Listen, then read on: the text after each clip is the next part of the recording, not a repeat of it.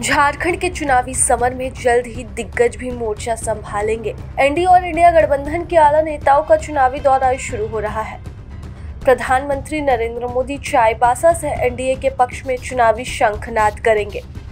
NDA प्रत्याशियों के पक्ष में प्रधानमंत्री तीन मई को दोपहर तीन बजे चाईबासा में चुनावी सभा को संबोधित करेंगे। साथ ही सिंहभूम सीट की एनडीए प्रत्याशी गीता कोड़ा के पक्ष में मतदान करने की अपील करेंगे। हाल ही में गीता कोड़ा कांग्रेस छोड़कर भाजपा में शामिल हुई थी। भाजपा में उन्हें सिंहभूम सीट से प्रत्याशी बनाया है।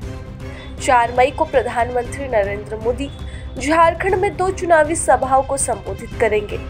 पहली जनसभा पलामू में सुबह साढ़े नौ बजे होगी। यहाँ से भाजपा ने सांसद वी राम को फिर से प्रत्याशी बनाया है। वहीं दूसरी जनसभा लोहरदगा के सिसई में दोपहर साढ़े बारह बजे होगी। लोहरदगा सीट से भाजपा ने राज्यसभा सांसद समीर उरांव को प्रत्याशी बनाया है। झारखंड में चौथे चरण में चार सीटों पर 13 मई को मतदान होना है। इसमें सिंहभूम, खूंटी, लोहरदगा, पलामू की सीट शामिल है। भाजपा प्रधानमंत्री नरेंद्र मोदी के कार्यक्रम को लेकर तैयारियों में जुटी हुई है।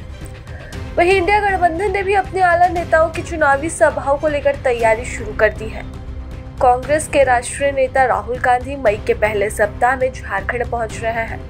वह झारखंड के पहले चरण के लोकसभा चुनाव के लिए सभा करेंगे। वह लोहरदगा और खूटी सीमा में सभा को संबोधित करेंगे। इस सभा में दोनों की लोकसभा के समर्थकों को जुटाने की कोशिश होगी। प्रदेश नेतृत्व इसके लिए जगह चिन्हित कर रहा है। बसिया के पास चुनावी सभा कराई जा सकती है। पार्टी नेता प्रियंका गांधी के चुनावी दौरे की तैयारी भी चल रही है। पार्टी के राष्ट्रीय अध्यक्ष मल्लिकार्जुन खड़गे और रणदीप सुरजेवाला भी झारखंड पहुँचेंगे। प्रभात खबर डॉट कॉम, विश्वास वही, रफ्तार नहीं